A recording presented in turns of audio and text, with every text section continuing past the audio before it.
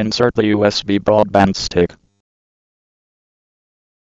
Mobile broadband does not appear in Network Manager.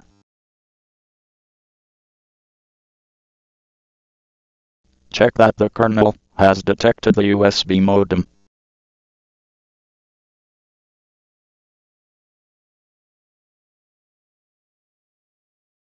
Now we know our vendor and product ID.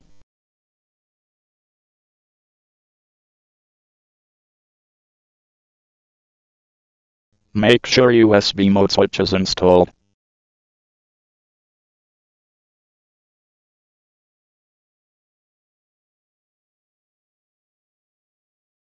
Reset the modem.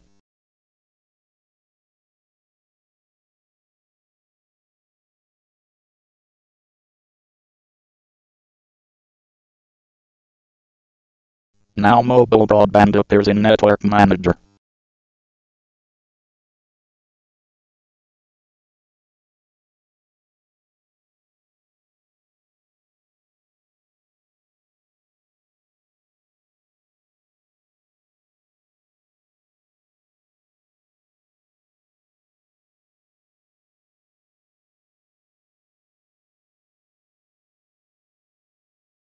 Please subscribe my channel and press the bell icon.